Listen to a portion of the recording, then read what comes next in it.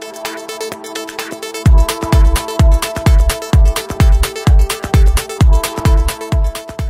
La cosiddetta grande coalizione di centro scioglie le riserve e presenta i tre nominativi che si contenderanno alle primarie di domenica 10 aprile il posto di candidato sindaco. La nuova alleanza composta dai democratici per Brindisi Impegno Sociale, Noi Centro, Partito Repubblicano e Brindisi prima di tutto e conservatori e riformisti ha scelto per le primarie Pietro Guadalupi, Angela Carluccio e Vincenzo Boccuni. A fare da battistrada ai candidati alle primarie nella conferenza stampa di presentazione di questa mattina, mercoledì 6 aprile 2016, a Palazzo Granafenervegna Salvatore Brigante e Luciano Loiacono, rispettivamente ex consigliere di maggioranza del governo Gonzales ed ex presidente del Consiglio Comunale, entrambi comunque tesserati con il Partito Democratico ma decisi a correre le prossime elezioni amministrative con le liste civiche della nuova coalizione, in evidente contrasto con le scelte del PD. Con loro anche l'esponente di Noi Centro Tony Muccio. I cittadini dovranno quindi scegliere dal candidato alle primarie per Noi Centro e Brindisi prima di tutto Angela Carluccio Carluccio, una donna avvocato, figlia dell'ex sindaco di Brindisi Carluccio, primo cittadino negli anni Ottanta. Conservatori e riformisti schiera Pietro Guadalupi, figlio del coordinatore cittadino Italo, un giovane volto politico già conosciuto, quello di Pietro Guadalupi, per aver ricoperto l'incarico di consigliere comunale di opposizione e vicepresidente del Consiglio Comunale nella scorsa amministrazione.